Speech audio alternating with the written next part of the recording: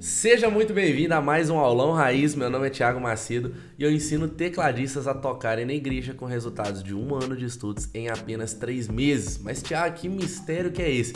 Dos dias 18 a 21 de julho vai rolar a próxima edição da Maratona Teclado em 3, que é um evento de 4 dias, 18, 19, 20 e 21, que você vai descobrir como que isso é possível. Não importa se você é iniciante, se você nunca pegou no teclado ou se você já toca, mas você está travado. Você toca na igreja, mas depende de cifra, não consegue fazer seus arpejos, seus dedilhados, você quer aprofundar nisso para você impactar as vidas que vão na igreja da melhor forma. Então a Maratona Teclado em 3 é para você. Tiago, como que eu faço para mim participar? O link ainda não está disponível, mas me segue no Instagram que lá você vai descobrir em primeira mão, fechou? É tiagomacedo.tm. Esse aulão aí não é ao vivo que vai aparecer para você, porque eu tô com a garganta um pouco ruim. Então na próxima semana acredito que a gente já vai conseguir voltar com os aulões, aulões, enfim, com o aulão raiz ao vivo aí, fechou? E eu preparei algo muito especial. Hoje você vai poder conferir como que é uma consultoria que eu disponibilizo de bônus para os meus alunos que entram na mentoria raiz. Inclusive, se você tem interesse em entrar nesse treinamento, depois da maratona Teclado em 3, eu vou abrir a próxima turma. Fechou? O tema é substituição de acordes e fundo musical. Essa é uma consultoria de bônus que eu faço com os meus alunos, todo mundo ao vivo numa tela, tá? E no final, os alunos têm a oportunidade de fazer perguntas também. Então você vai poder conferir tudo isso aí. Vamos com tudo, deixa seu like, se inscreve no canal e boa. Vamos lá então, turma. Mais uma consultoria. Hoje, dia 9 de maio.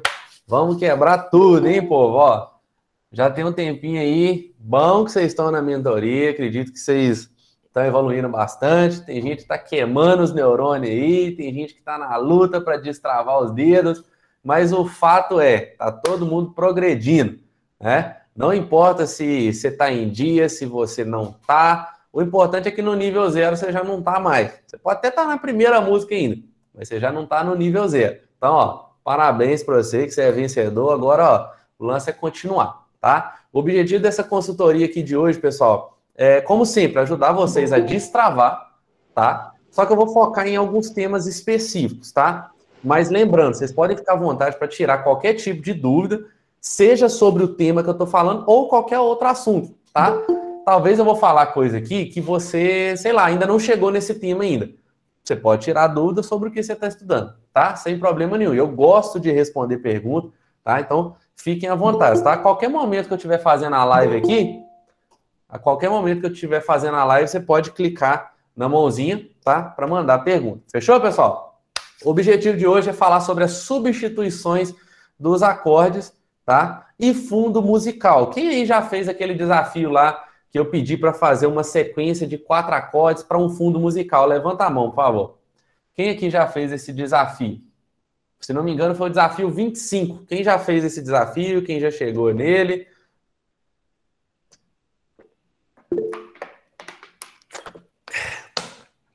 Nesse desafio, eu pedi para fazer um fundo musical. Fala, Maviael, chegou aí também, bom demais, tamo junto.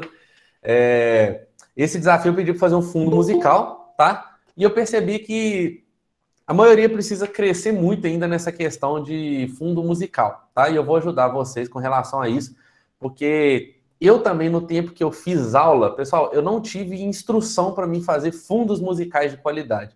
Eu fui pegando na marra e eu desenvolvi é, um, um raciocínio que toda vez que eu ensino fundo musical a galera gosta, porque é algo que não é ensinado. Por isso que eu falo que o ensino ele precisa ser voltado para quem toca na igreja, porque pô, você toca na igreja, você tem que fazer fundo musical, você precisa aprender a pensar na igreja, né? Então foi algo que eu desenvolvi, e eu vou passar para vocês aqui, tá? Deixa eu só pegar aqui minha colinha que eu tenho algumas coisinhas aqui para poder passar para vocês tá? É... Vamos lá. Eu vou falar aqui sobre a questão do fundo musical, depois eu entro nas substituições, que é um, é assunto mais rápido, tá? Vamos lá. Alguém sabe me responder? Quem souber, pode ficar à vontade aí para levantar a mão e responder, tá? Qual que é o principal objetivo de um fundo musical? Você está lá na igreja, você tem que fazer um fundo musical. Qual que é o principal objetivo de um fundo musical? Alguém quer responder? Fica à vontade. Só levantar a mão aí. Odaí, Odaí levantou a mão aqui. Manda aí, Odaí, pode ativar seu microfone. Boa noite a todos. Boa noite. Eu acho que o principal objetivo do fundo musical é passar a, o sentimento ou a expressão do que da pessoa que está falando, ou do pastor que está pregando, do padre que está fazendo a sua homilia. Eu acho que é passar passar esse sentimento aí do da nesse momento, é, sincronizar do, os dois sentidos, a, o falar e o tocar. Show de bola, show de bola. Alguém mais tem alguma ideia tem alguma sugestão do que, que seria o fundo? O principal objetivo. Opa, peraí. O principal objetivo? Alguém quiser falar, pode levantar a mão, tá? Fala, Andréia. Ninguém mais? Então vamos lá, pessoal. É o seguinte. O principal objetivo do fundo musical é justamente ficar ao fundo. Não é para aparecer, é para ficar ao fundo. Brincadeira, não é essa a definição que eu vou passar para vocês, né? Mas basicamente é o que o Odair falou mesmo. O objetivo do fundo musical é você reforçar a mensagem que está sendo entregue através do pastor, do palestrante, do padre, enfim, de quem tiver ali falado. Às vezes você vai fazer um fundo musical e não vai ter ninguém falando. Vai ter várias imagens só passando. Quem que já viu o vídeo no YouTube, por exemplo, que tem lá uma cachoeira descendo, aí passam os pássaros voando, tem a imagem da natureza e tem uma musiquinha no fundo. Aquilo lá é um fundo musical. Então você tem que fazer um fundo de acordo com a mensagem que está sendo passada. Muitas vezes não vai ter nem é, alguém falando, vai ser só imagem. Você tem que fazer algo que condiz, né? Você imagina aqueles videozinhos que passa a pomba voando, que passa lá a cachoeira cheia de água. Você imagina um vídeo desse mostrando a natureza, as flores, né? Você imagina um fundo desse com um rock pesado? Não combina, né? Então, a música que é colocada nesses vídeos também é estratégica para poder transmitir a mensagem. E esse é o principal foco, tá? E qual que é o lance? Apesar de eu ter feito uma brincadeira, tem um fundo de verdade. Um dos objetivos também do fundo musical é ficar ao fundo. Vocês têm que pensar já nisso, tá? Por quê? Eu vi muita gente na hora de fazer a sequência dos acordes, fazendo uma sequência e tocando dessa forma aqui. E não tem nada de errado se você tocou assim, você está aqui é justamente para aprender, tá? Vi muita gente tocando assim, ó.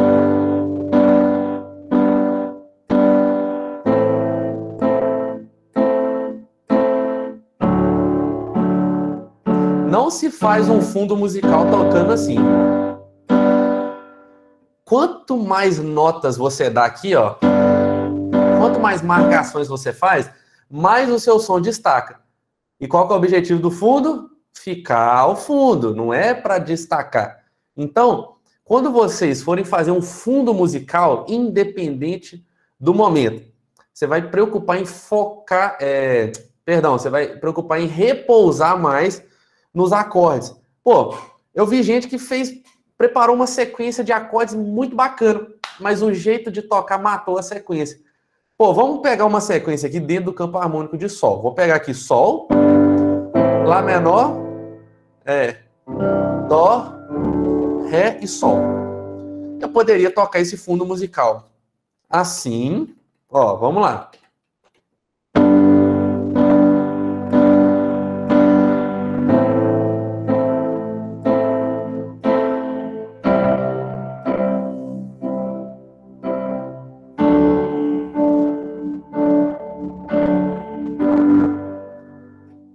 Poderia tocar mais simples ainda, só que fica muito melhor para um fundo musical.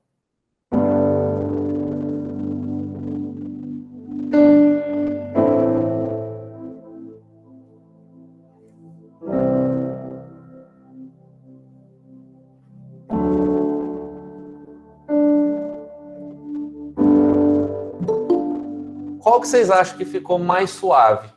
O primeiro que eu fiz ou o segundo? O segundo, obviamente, né? Só que tem um detalhe. O segundo, pessoal, eu fiz menos coisa. Né? Eu só movimentei os acordes e toquei mais suave. Então vocês vão anotar uma parada aí. No fundo, você pode escrever desse jeito, guarda isso. No fundo musical, menos é mais. Inclusive tem um teste de nível, não lembro qual que é o nível, que tem que fazer um fundo musical lá. E teve um aluno que fez o, esse teste de nível, não lembro, acho que é do marrom, terceiro grau, sei lá. Mas teve um aluno que fez o teste de nível e ele foi reprovado três vezes. Na quarta vez ele acertou. Na quarta vez foi, foi a que ele fez menos coisa. Aí sim eu aprovei ele. Por quê? No fundo musical não é você sair fazendo muito movimento. Você pode até aprender a fazer dedilhados, que você vai chegar ainda lá nas aulas tudo mais, arpejos, arranjos. Você pode fazer muita coisa. Mas no fundo musical, menos é mais. Se você só tocar o acorde, colocar sentimento, repousar, ir mudando aos poucos, muito mais bonito. Faltou isso no fundo musical de vocês, faltou sentimento, faltou expressão. E isso é algo que a gente constrói, tá? Não precisa ficar preocupado por conta disso, tá? É algo que a gente constrói. Então, vocês aprenderam lá, no fundo musical, você pega um tom, né? E você faz uma sequência de acordes dentro daquele tom. Beleza. Só que muito mais do que o que você toca é você saber como você toca. Você viu que eu fiz a mesma sequência de acordes, só que na segunda vez eu toquei mais suave. Então vocês têm que pensar nisso. Por quê? Vocês já chegaram num ponto, pessoal, que você. É, vocês já chegaram num ponto que vocês já sabem formar os acordes, você já sabe formar acordes com sétima, com nona, já sabe formar é, as inversões, vocês já sabem mudar os timbres no teclado. Eu já passei aquele macete para vocês de tocar com uma oitava abaixo, já passei lá o lance de você acrescentar dois timbres. Você já sabe aí bastante coisa, inclusive com conhecimento passado até aqui, qualquer pessoa dá conta de tocar na igreja. Só que agora a gente vai começar a refinar o nosso som. Por que, que chega na quinta semana a gente estuda o campo harmônico? Para a gente entender mais sobre como funciona a música e já começar a desprender da cifra. Porque quando você desenvolve o ouvido, aí o que, que acontece? Você vai ficando com o ouvido mais aguçado para saber o que, que fica bom na música, o que, que não fica. É justamente o ouvido que vai te fazer evoluir.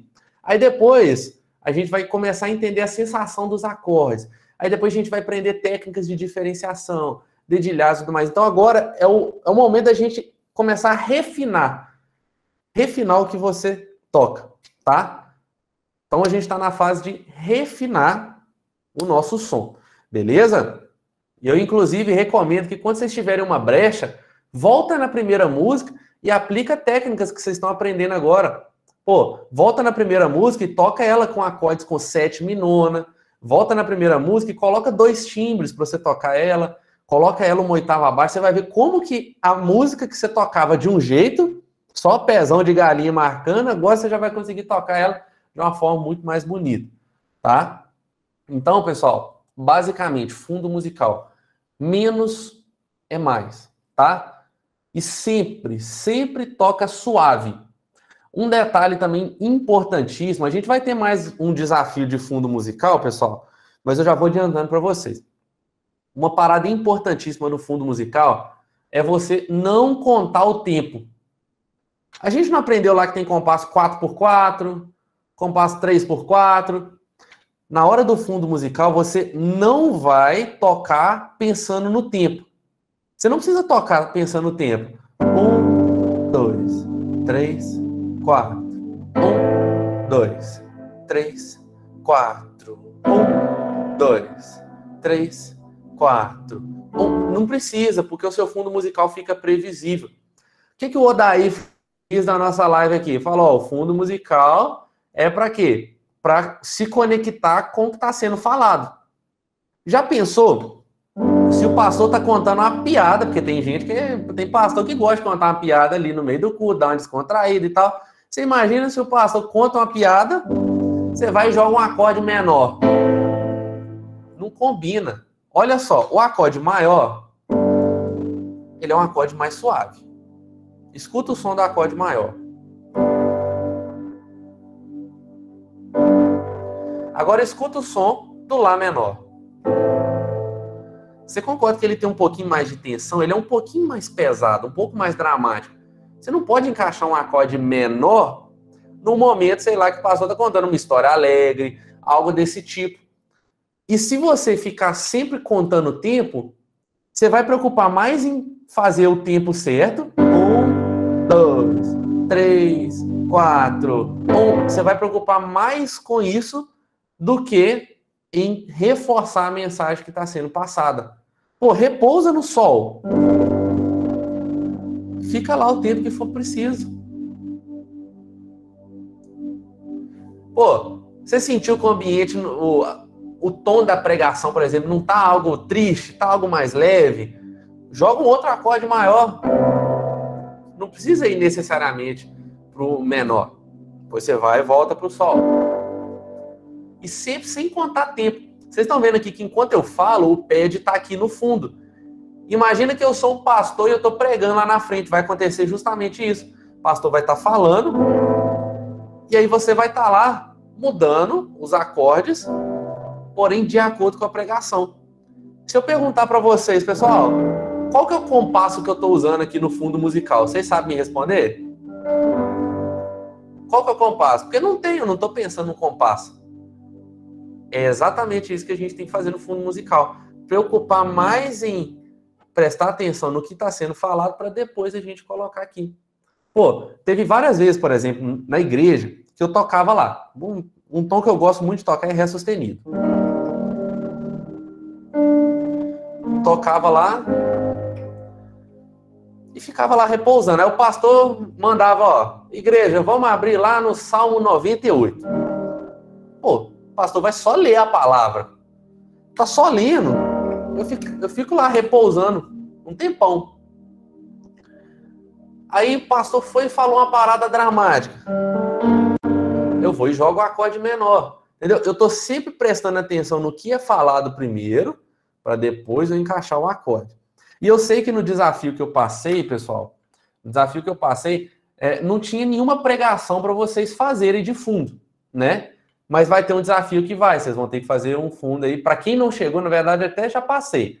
Né? É, eu passei um vídeo que vocês devem fazer um fundo para esse vídeo e tem um teste de nível que você deve fazer um fundo para uma pregação. Então, quando você for fazer, você já lembra disso aqui que eu estou falando, tá? Pensa sempre no como você está tocando, tá? Geralmente, marcação não é, não é algo que fica muito legal. A gente aprende isso porque é necessário no primeiro momento mas depois a gente tem que ir o quê? Refinando, certo? Alguma dúvida até aqui, pessoal? Quem tiver alguma dúvida, fica à vontade para clicar aí na mãozinha, tá? E mandar. Basicamente, o que eu tinha para falar de fundo musical é isso. Mais expressão, menos batidas e mais sensibilidade, tá? Repousa mais. Não pensa em tempo. Quem aí já chegou no módulo de harmonia funcional, levanta a mão. Tem alguém aqui que já chegou no módulo de harmonia funcional? Márcio, Expedito, mais alguém? Mirielle, Larissa. Pô, tem uma galera aí que chegou no módulo, ou daí, tem uma galera aí que chegou no módulo de harmonia funcional. Na harmonia funcional, o que, que a gente estuda? A sensação dos acordes. A gente aprende lá que acorde que traz uma sensação de ansiedade, que acorde que traz uma sensação de repouso, não é verdade? Então, quando vocês forem fazer o fundo musical, usa muito essa ideia da harmonia funcional. Cara, é, é cabuloso, é cabuloso o poder que a harmonia funcional tem, é, principalmente num fundo musical. Vou dar um exemplo para vocês aqui. Eu, inclusive, já até fiz uma demonstração em consultorias anteriores, mas eu vou fazer aqui de novo, tá? Eu vou pegar aqui no tom de sol. No tom de sol, obviamente, o acorde que repousa é o próprio sol. É o acorde que traz a ideia de conclusão. O Dó é o quarto grau. Quarto grau tem sensação de quê? De encruzilhada. Não tem uma sensação muito bem definida. Não é nem um repouso, mas também não traz uma ansiedade. Para quem perguntou aí o que é harmonia funcional, é o estudo das sensações dos acordes e das funções que eles têm dentro de um campo harmônico. Você tem um campo harmônico, você tem sete acordes. Cada um desses acordes tem uma função. Primeiro grau tem a função de repouso. Sempre quando você cai no primeiro grau, ele conclui. O quarto grau é uma encruzilhada. É mais um acorde ali de passagem. E o quinto grau, ele traz a ideia de ansiedade. Pô, vamos fazer um exemplo aqui. Vou tocar esses três acordes: Sol, que é o primeiro grau, Dó, que é o quarto, Ré, que é o quinto. Vamos lá.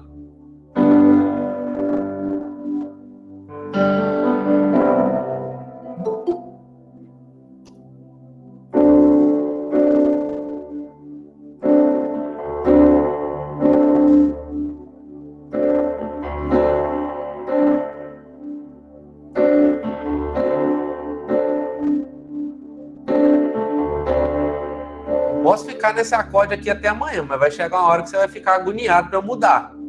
Eu repousei aqui no Ré de propósito. Agora, saca só, quando eu saio do Ré,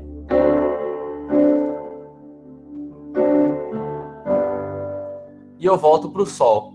Sentiu que quando eu chego no Sol, conclui, fecha a ideia aqui do, do, da sequência? É justamente porque o Sol ele tem a função de conclusão que é o primeiro grau. O primeiro grau tem função de conclusão. E o quinto grau tem a ideia de ansiedade. Agora, como que eu posso usar isso aqui num fundo musical? Geralmente, pessoal, é... eu falo por mim mesmo, tá? Eu sou meio impaciente nos cultos. Eu não, não sou aquela pessoa que para, senta no banco e consegue prestar atenção à vontade. Não, eu distraio com tudo. Tá lá o pastor falando, passa um mosquito, eu tô lá olhando o mosquito.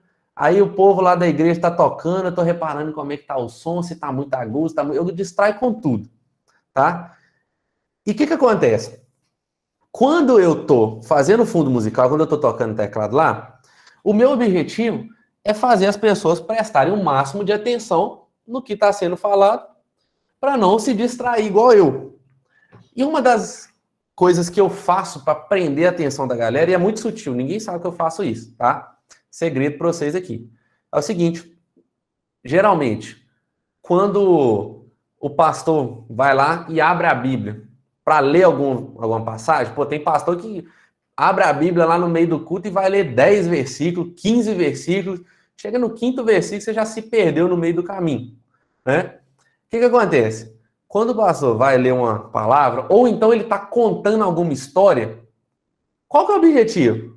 O objetivo é que as pessoas prestem atenção nele para entender todo o raciocínio, da passagem ou então da história. Eu vou sempre nesses momentos e eu coloco um acorde de quinto grau. Se eu estou tocando, independente do tom, eu vou e coloco um acorde de quinto grau, porque o quinto grau, qual que é a função dele? Qual que é a sensação que ele traz? Escreve aí no chat. Qual que é a sensação que o quinto grau traz?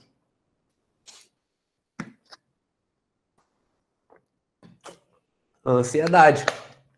Ou seja, quando você está ansioso por alguma coisa, inclusive eu estou bem ansioso essa semana, mas quando você está ansioso por alguma coisa, você está querendo sempre ver já o que, que vai ter no final, não é verdade? Vamos supor, você está ansioso para fazer uma viagem. Você já quer que chegue, passa os dias tudo e chegue no dia da viagem. Você sempre quer adiantar coisas, você sempre quer ver o que, que vai acontecer no final, né? É esse o objetivo quando eu coloco um acorde de quinto grau, quando o pastor está lendo uma palavra ou contando uma história. Por quê? Se eu coloco lá um acorde que traz a ideia de ansiedade, ninguém sabe que eu faço isso, mas a pessoa sente o som e ela automaticamente já aprende mais a atenção, porque ela sente, opa, tem algo aqui que não foi concluído ainda. Então a pessoa espera, espera o pastor terminar de falar, espera terminar ali a história, o que for, e aí depois eu venho com o acorde de conclusão. Ninguém sabe, pô, o Thiago tá lá fazendo um acorde que tá me dando ansiedade. Não, já eu ativo o subconsciente da pessoa ali. Então, no fundo musical, você tem que trabalhar com a inteligência. Essa parte da harmonia funcional é poderosíssima, tá? Poderosíssima. Usa isso. Você aprendeu no desafio 25 a fazer uma sequência para um fundo musical. Só que agora vocês vão sair desse nível já. Você não deve fazer uma sequência pronta para um fundo musical. É igual eu falei. Imagina que você prepara uma sequência lá que tem Sol, Lá menor, Dó e Ré. Aí às vezes que você vai tocar o Lá menor, talvez o pastor tá falando uma parada, uma parada engraçada lá, você vai e joga o acorde menor, não faz sentido. Então o objetivo é o quê? Você escolher um tom. Depois que você escolhe o tom, você vai trabalhar com a harmonia funcional. Pô, imagina que pastor começou o culto agora. Pô, ninguém começa o culto já descendo a lenha, né? Todo mundo começa o culto suave, tá, tá. E, então você pode fazer o quê? Toca o primeiro grau. Depois você toca o quarto grau. O quarto grau não é nem um repouso, não é nem um acorde que traz ansiedade. Ele é um acorde ali para você dar uma variação, porque você também não vai ficar no sol o tempo todo. Então você pode variar. Primeiro grau, quarto grau. Olha como que fica suave.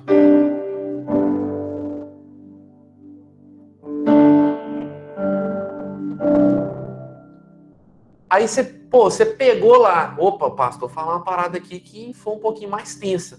Sei lá, falou da morte de Cristo. Você vai jogar um acorde menor que tem no campo harmônico.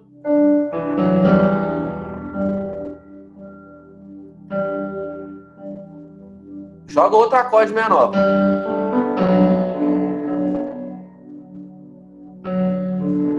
Aí falou que Cristo ressuscitou, você já volta para os acordes maiores.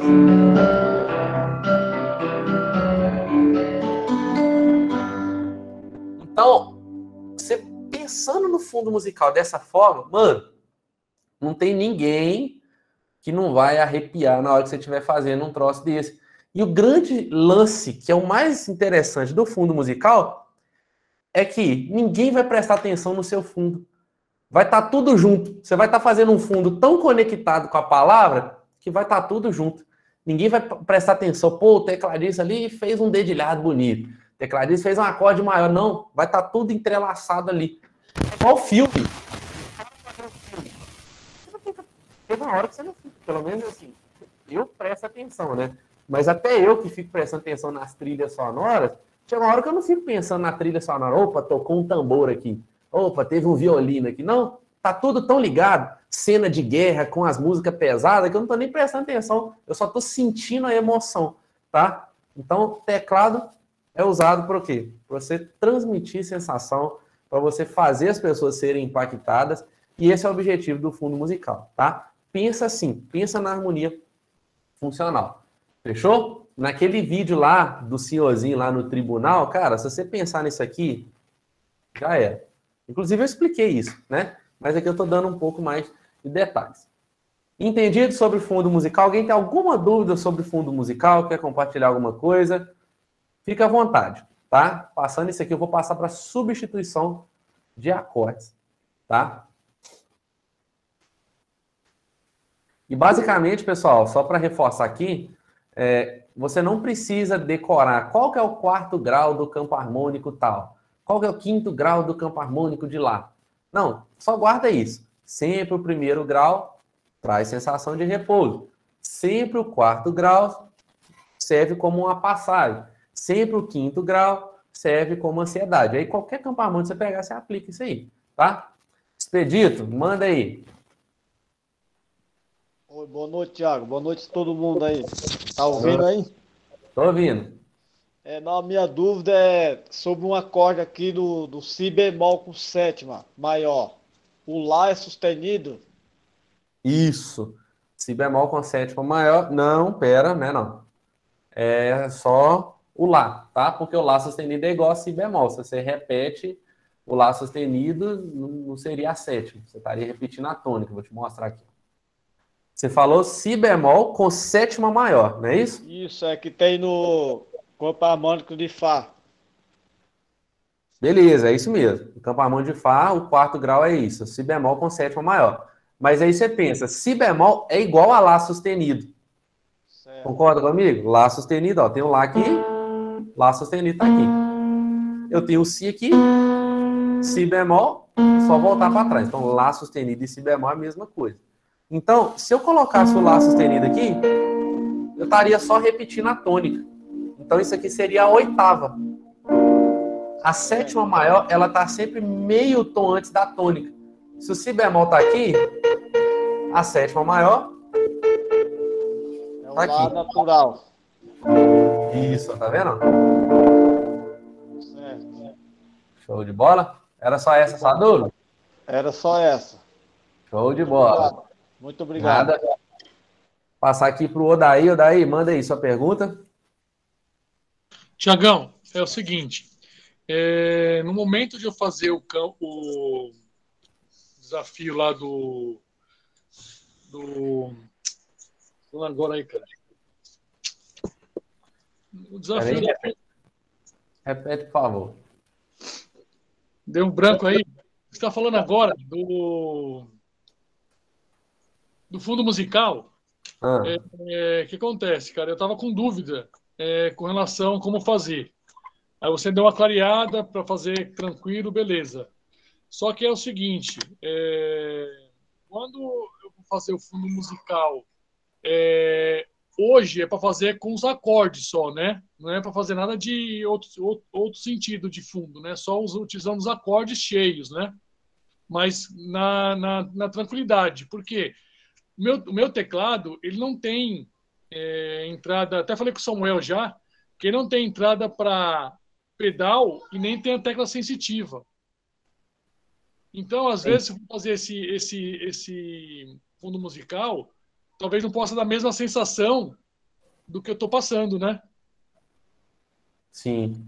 Cara, é, nesse lance aí de fundo musical, né, chega um momento que você começa a sentir falta do, do pedal, das teclas sensitivas. Você, você começa a sentir falta até porque você mesmo fica mais exigente. Você fala, pô, eu queria que meu som sustentasse um pouquinho mais.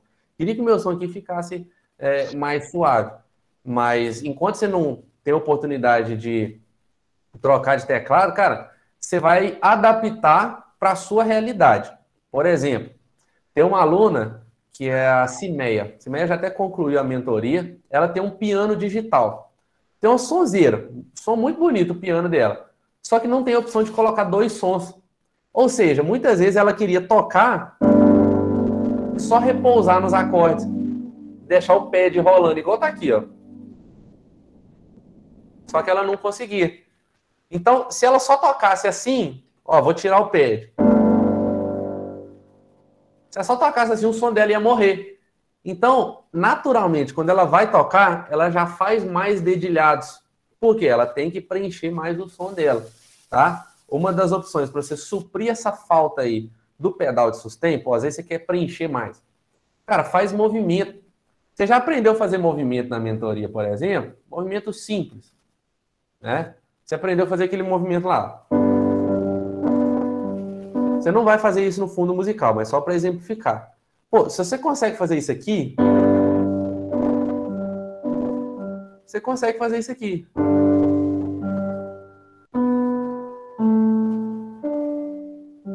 Você pode fazer esse tipo de movimento. Pega o acorde, por exemplo, um acorde com nona. Sol com nona. Toca uma tecla de cada vez.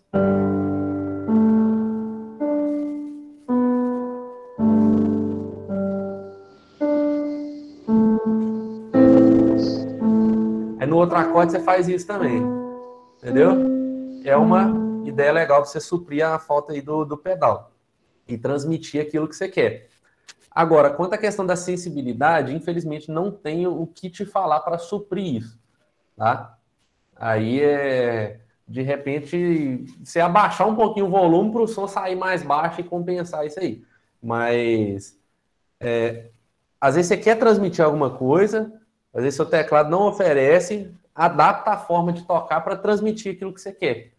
Tá? Você vai ter que se adaptar. Essa é a, é a palavra. Tá? Show de bola. Teve gente que perguntou aí, Thiago, eu não entendi como que forma o campo harmônico. Mano, aí se eu for explicar como é que forma o campo harmônico aqui de novo, eu vou gastar mais duas horas. Tá? Tem uma consultoria e acho que foi da semana passada. Mano, eu destrinchei campo harmônico.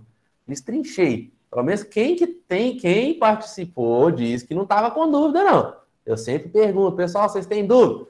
Vocês não falaram que tinha dúvida, então eu acredito que todo mundo entendeu, tá?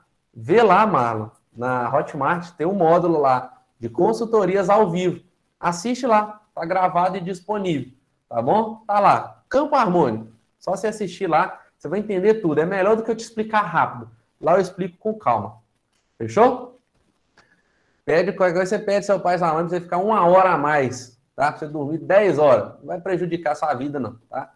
Pode falar com eles, ó, oh, professor falou para eu dormir uma hora depois. Tô muito novo, tá? Gente nova não precisa dormir tanto, não. Dormir umas 6 horas tá muito ainda. Brincadeira, seus pais daqui a pouco vai brigar comigo. Mas um dia ou outro aí você pede para eles deixarem você terminar de assistir, tá?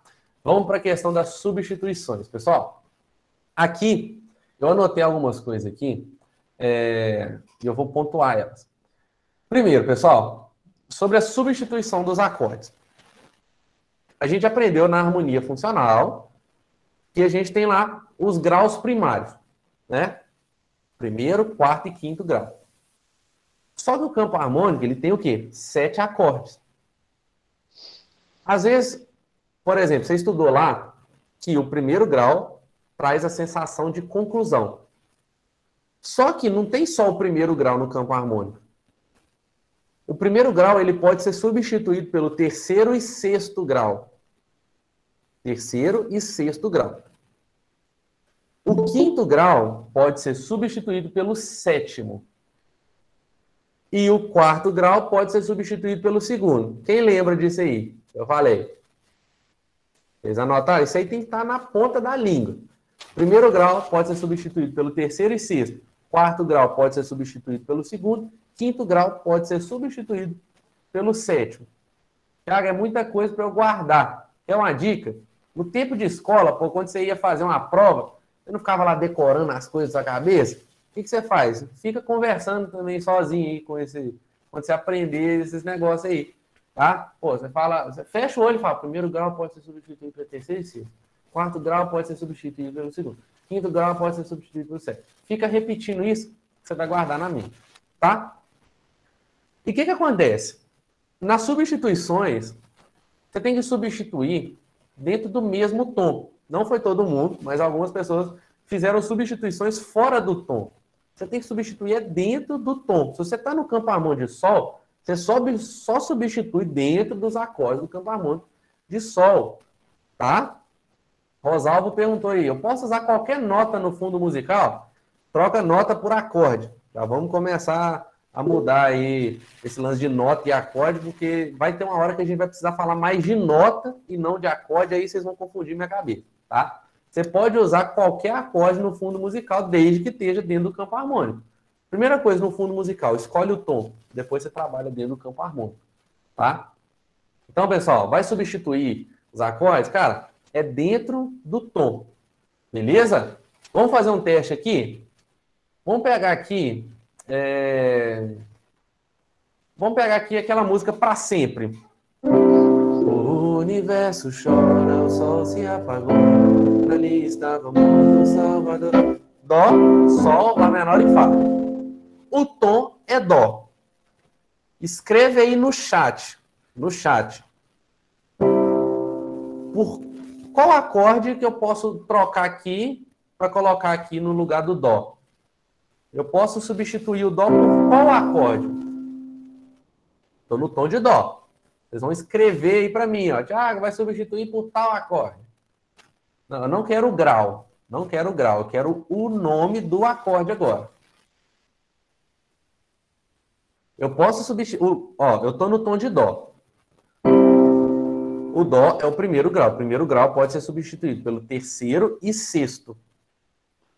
Ó, Teve gente que já respondeu certo aí. Eu posso substituir ou pelo Mi menor ou pelo Lá menor. Eu não posso substituir pelo Sol, porque o Sol é o quinto grau. Eu posso substituir só pelo terceiro e sexto. Tá? De forma mais comum, pessoal, no geral, o sexto grau sempre encaixa melhor. Tá? Na teoria, eu posso substituir ou pelo Mi menor ou pelo Lá menor. O Mi menor é o terceiro o Lá menor é o sexto grau, mas na prática o sexto grau cabe melhor. Vamos substituir esse Dó aqui pelo Lá menor? Só que aí tem um detalhe. Não, vamos manter assim. Vamos substituir só o Lá menor primeiro. Vamos lá.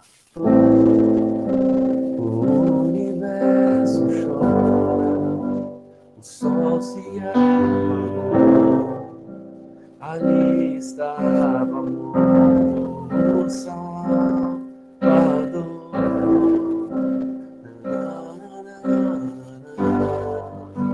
Deu certo. Ficou diferente? Ficou, é lógico. Eu troquei o acorde, tem que ficar diferente. Né? Se fosse para ficar igual, deixava o mesmo acorde. Mas aqui combinou. Pô. Se Então, vocês viram o que, eu fiz? Eu substituí dentro do campo harmônico. Só que tem um detalhe: os outros acordes eu mantive igual. No desafio de substituição, eu vi um monte de gente substituindo todos os acordes. Aí você vai deixar a música feia. Falando de forma clara, a música vai ficar feia se você substituir todos os acordes. O que, que acontece? Quando você vai substituir os acordes, você pode até testar substituição em todos os acordes. Mas, com certeza, na hora que você estava fazendo a substituição, você sentiu, pô, esse acorde aqui parece ficou meio esquisito. Você sentiu que ficou esquisito em algum momento, na hora que você estava substituindo? Então o que, que você faz? Não substitui, deixa o acorde normal. Aí no outro, pô, esse aqui eu substituí, ficou legal. Aí você vai substituir. Quando eu toco, por exemplo, saca só, vamos, vamos substituir aqui os acordes dessa música.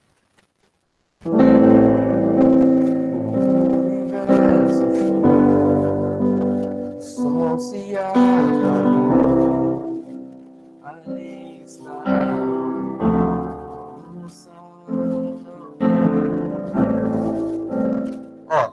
No lugar do Dó, eu coloquei o Lá menor. Depois, na música original, tinha o Sol. O Sol, pessoal, já que eu estou no campo harmônico de Dó, eu posso substituir por qual acorde? Escreve aí para mim. Vamos lá que o nosso tempo está acabando aqui. Daqui a pouco ainda tem uma live no YouTube. Quem quiser participar é muito bem-vindo. o Sol é o quinto grau. Quinto grau pode ser substituído pelo sétimo. Sétimo grau é um acorde. É um acorde. Vocês vão escrever aí. É um acorde meio diminuto, pô. Meio diminuto. Foi o que a Lucielane escreveu ali. Tá? Teve muita gente que estava colocando só o acorde menor com sétimo. Tem que colocar quinta bemol também, na hora de substituir, tá? Eu poderia trocar esse sol pelo si de meio diminuto. Por exemplo, ficaria assim, ó. O universo chora, o sol se abre, ali está o Salvador.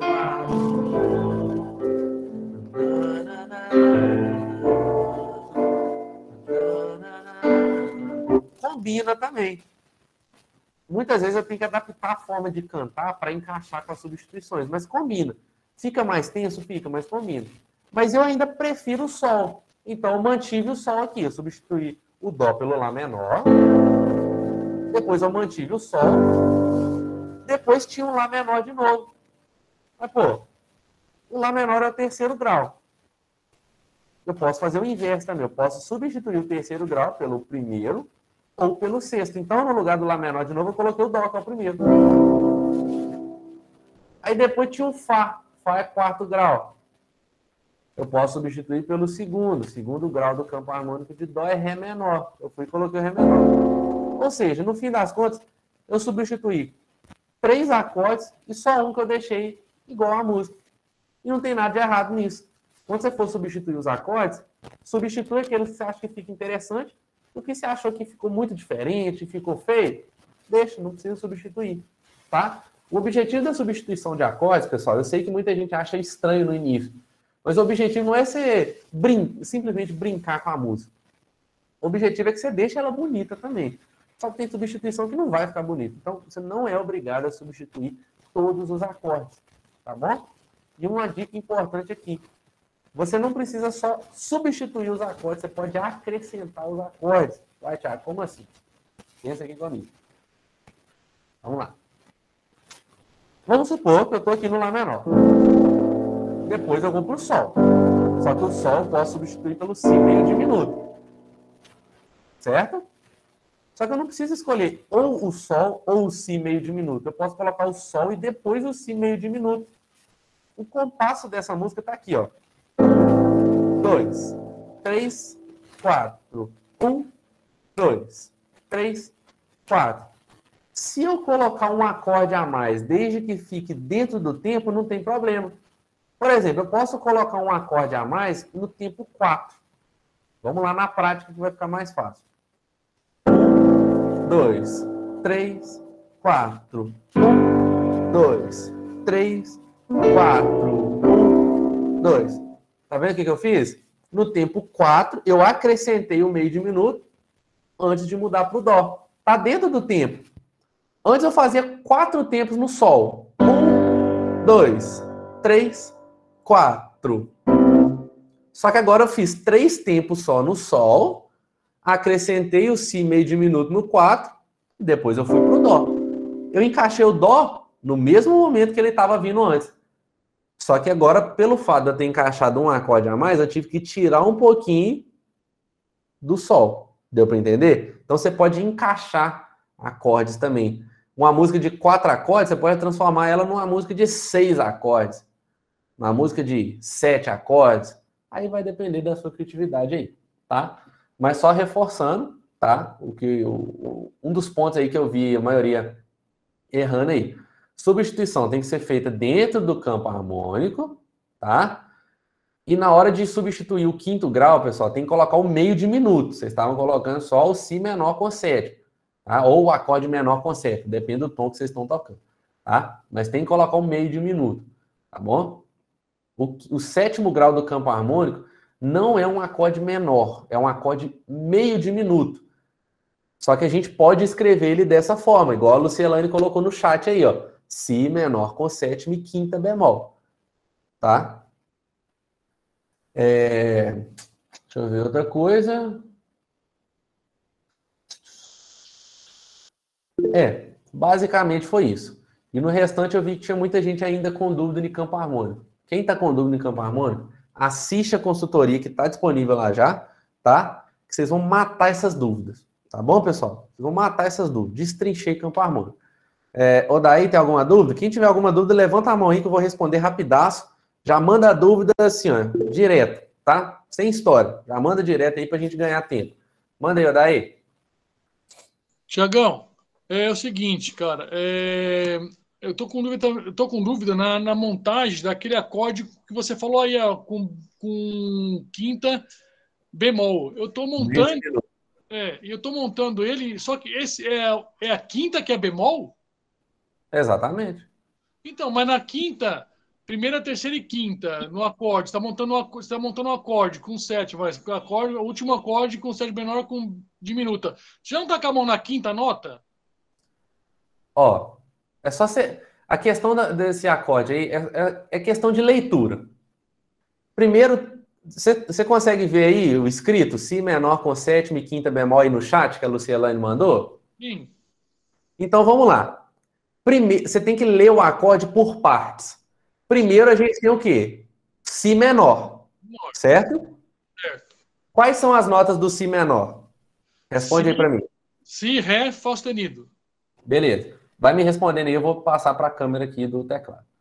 Si, Ré e Fá sustenido. Então você montou a primeira parte, Si menor. É. Depois o que, é que tem aí? Tem um 7, que é a sétima.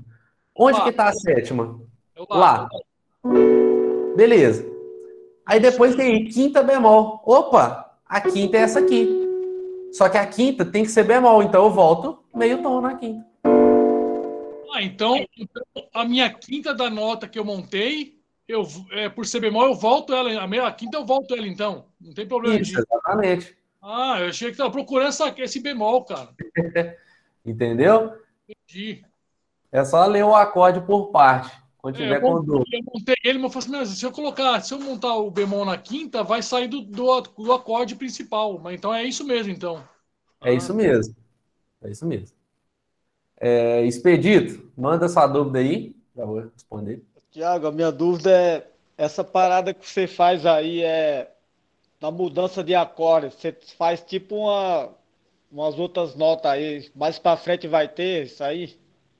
Oh, esses dedilhados aí, né? Tem sim. Isso. É, para ser mais exato, é, deixa eu ver se eu lembro. Na sétima, vocês estão na sexta semana, não é isso? Me confirma aí, eu confirmo. Vocês chegaram na sexta. sétima ou vocês entraram na sexta hoje? Entramos na sexta, né? Ontem. Beleza. É, eu tô meio perdido nos dias aqui. Enfim, é isso mesmo. Quando você chegar na sétima semana, a sétima semana é arpejos e dedilhados. Já vai pegar isso na próxima semana. Depois a oitava semana é criação de arranjo. Depois a nona semana, técnicas de diferenciação. Tá? É por aí. Eu acho que é essa a ordem mesmo.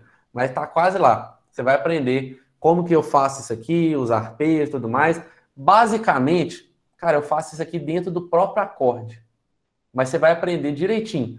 Só pensa comigo aqui, ó. Vamos supor, eu tô aqui no Lá menor. Eu fiz ele com sétima invertido. Aí antes de mudar para o Sol, por exemplo, eu faço um movimento dentro do próprio Lá menor com sétima. Pensa aqui comigo, ó.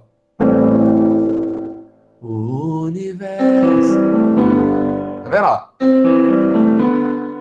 Eu tô aqui. Eu toquei as notas do acorde. Depois eu fiz o sol. Ah, o arpejo é isso, é você tocar as notas do próprio acorde. Entendeu? Certo. Durante a semana aí você vai pegar direitinho. Ah, tranquilo. O Celante falou que começou hoje arpejo de dedilhado. É, aí vocês, vocês quebra a cabeça aí, que eu também não tô sabendo onde é que a gente tá, não, mas é por aí. Tá? Na, na tá semana, na semana tá aí vocês aprendem isso. Tá, tá bom, obrigado. Valeu. Pessoal, é isso aí, tá? E lembrando, quem não aí não pegou a live de Campo Harmônico, assiste que foi pauleira, tá? O que eu passei para vocês de Campo Harmônico, o que eu passo para vocês aqui, eu não passo abertamente no YouTube, é só para vocês, tá? Então aproveita, porque tá pauleira. Fechou? É isso aí, turma. Aquele abraço. Bora arregaçar nessa semana. É nóis.